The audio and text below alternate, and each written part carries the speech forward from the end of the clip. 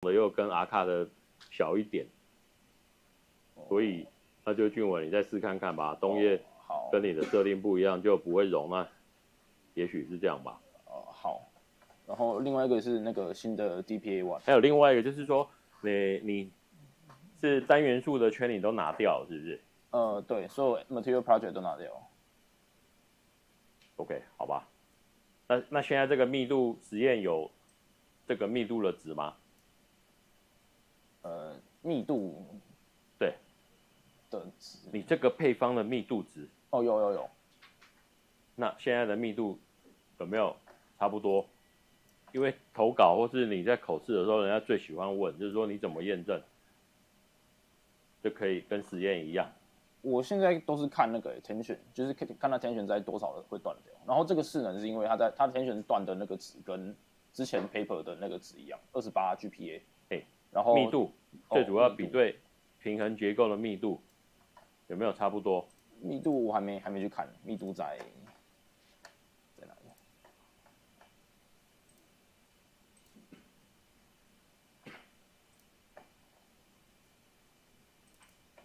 密度，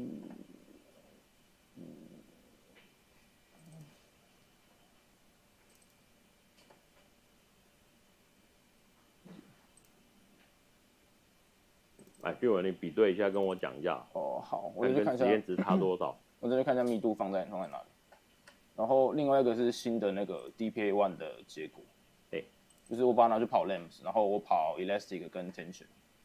然后它的啊，关掉，呃，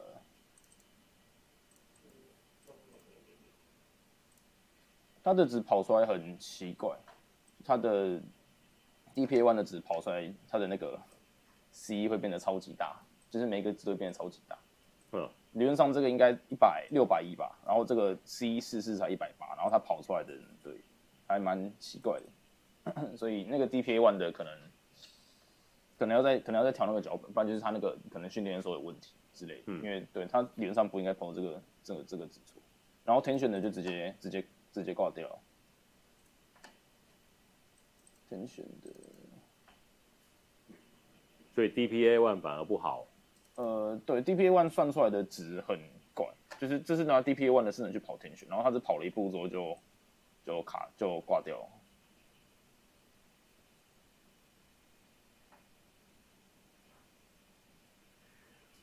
所以对，现在还我现在是拿旧的，就是传统的那个 SEA 的势能去测 LAMPS，嗯，就是 DPA one 的可能还要再可能没没办法，现在还是没没法没办法用，嗯，然后对差差不多就这样。OK，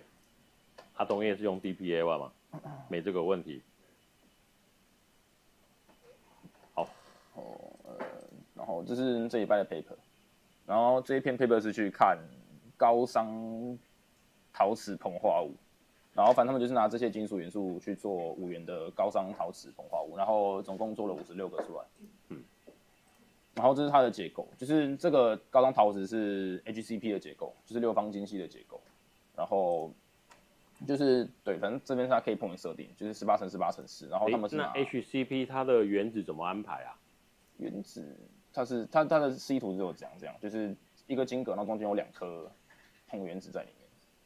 它是说六方晶系，但我不确定这是不是 HCP 的结构。嗯，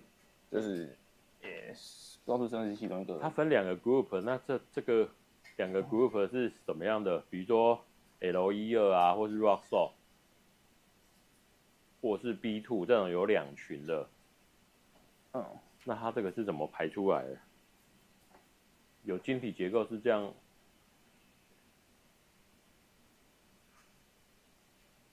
呃，因为它它只有放这个图，我不确定它的那个硼原子到底是在就是这个晶体中的哪一个位置。就是如果那它有知道的话，指明是 HCP 吗？还是是说特殊的结构？呃，我看一下。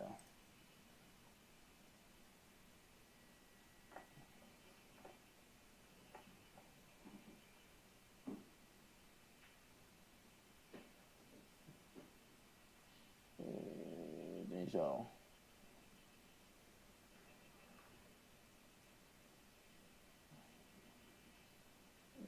没写。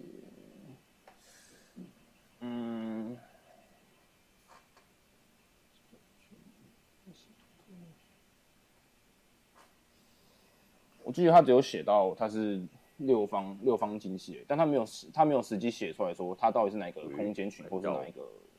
就是实际上的那个结构到底是什么？因为对吧？因为 HCP 有很多不同的变体，他没有写说是到底是哪一个变体，就是它可能不同的空间群都会被归类在 HCP，然后那可能是其中属于其中一个空间群。这个我可能再去问一下那个 GPT 吧，嗯，就是问这个到底是什么东西。然后他们是用那个 CSTP 这个去跑，就是 DFT 的部分。然后他们用了两个不同的模拟方法，一个是 SC method，另外一个是 VCA method。然后这个方法就是我们现在在用，就是创一个很大的结构，然后让它 replicate 去算。然后这个 VCA 是它金属原子的部分是取五个金属原子的平均值去算，说这个结构到底是就是它的性质到底是如何。嗯。然后他说 VCA 可以比较就是可以比较快，就是算比较快，然后可以去比对说就是跟实验的差差别差异到底在哪里。OK，哦，就是，然后接下来说，他说对于这种晶体结构，它需要用到五个呃那个 elastic constant，就是这这五个，然后像传统的 simple q b 只要三个就好。嗯，然后它下面有去算，就是其他的一些机械性质。OK，好，哎，有跟实验比对吗？呃，还是它这材料是设计的材料？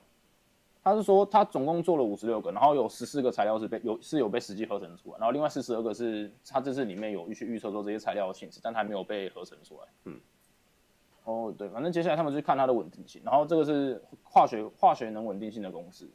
然后去看说就是它有没有稳定，然后结论就是都可以稳定，然后另外这个组成是说里面最相较之下最稳定。嗯，然后另外一个是那个晶格常数差。然后这个这个的值要在六点六排内，然后所有五十六个都是在六点六排内，所以就是都可以稳定。然后另外一个是热力学性质的稳定性，然后这个一样是用吉布斯自自由能去看，然后就反反正这个公式大家都用的一样。然后另外这个就是这个 omega 就是去看说，因为这个这个东西要是负的，所以这个 delta Hs 扣掉 Ts mix 一定要一定要是就是怎么讲，后面这项一定要大于前面这一项，这个高熵固溶体才会就是才才有办法稳定。然后这个就是去判断说它能不能稳定，然后这个 T N 是去，它去判断说在它的熔点去判断说这个值就是到底是大于还是小于，然后这是它跑出来的结果，就是呃对所有的高熵，所有他做出来的五十六种都是可以稳定的，嗯，然后对，然后接下来是他把这些值画成图，就是三维的空间图，嗯，然后接下来是他们用刚刚说的这五个常数去判断说。呃，这五他们合成出来这五十六个，呃，刚刚陶瓷说是可以稳定，然后判断条件在下面，然后结论就是都可以稳定。然后另外他们有去看说，就是这些呃高熵陶瓷的熔点，然后大概都在三千 K 左右。然后另外就是这个组成的比例会比较高一点，在三千一百六十一 K。嗯。然后接下来是那么去看，就是算呃这三个这五十六个高熵陶瓷的，就是三个模数：弹性模数、剪切模数跟体积模数。然后右边这个是去判断它的普松比跟它的一个叫做 B 除以 G 的值，然后这两个值是用于判断说这个材料是脆性的还是盐性的，然后这个只要小于零点二六，这个只要小于一点七五，它才会是脆性的材料。然后它算出来就是所有的二所有五十六种高熵陶瓷都是脆性的材料。然后这边是在说就是这种他发现这种比例的陶瓷有最高的 Buck modules，然后另外就是对这个比例的就是有最高的 shear modules。然后接下来是他们去看它的那个维适应度，然后呃 KIC 是呃断裂韧性跟它的临界能量释放率。然后这边这边的重点是，呃正常情况下来讲，这个 HV 和 KIT 是成反比，就是它如果越硬的话，它对就是断裂韧性的能力就会越弱。嗯，但是他们做出来的呃是就是这两个是成正相关，就是如果它的维适应度越强，那它的断裂韧性也会越高。哦，它的那个维生度是用这个公式去算，之前好像是用其他公式吧，我现在就是因为这个材料关系，他们才换成这个公式。嗯，OK，然后对，这个刚刚讲过，然后这些是哦，这个是他他们是看说，就是它的价电子浓度和就是这些机械性质的关系，就是看它有没有就是呈呈呈现呃正相关或是负相关，然后结果是有的。然后他们会做这个原因是因为之前有人拿一样是做高熵碳化物，然后一样一样也是去看说它的价电子浓度和就是这些性质的关系，所以就是这个条件在硼化物上面也是成立。然后最后面是他就去看说它的那个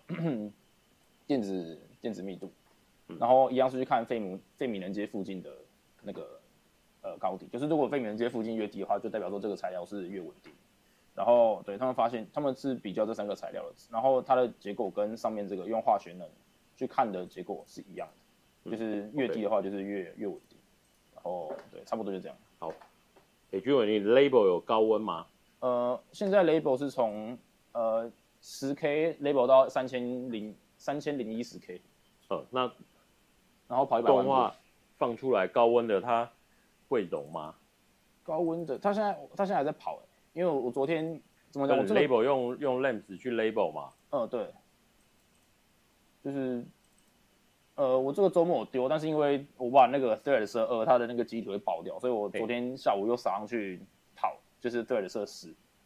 然后对，反正他现在还在还在跑，还没有半笔跑完，就是可能等明后天如果有跑完，我再去看说，就是它到高温的时候到底会不会融。哦，差差不多就这样。好。